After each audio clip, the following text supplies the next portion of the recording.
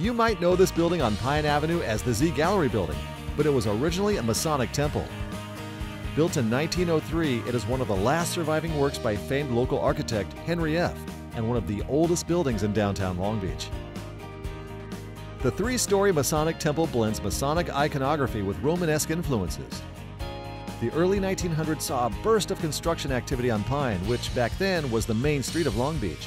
Due to its prime location after the Masons moved out in the 1950s, the first floor of the building was converted to retail shops. In the 1990s, Z Gallery moved in and added its own stamp to this historic structure by restoring the largely unused upper floors, including the detailed woodwork and sun mural. Today, this unique building is listed on the City of Long Beach Historic Landmarks and is still the home to Pine Avenue Retail.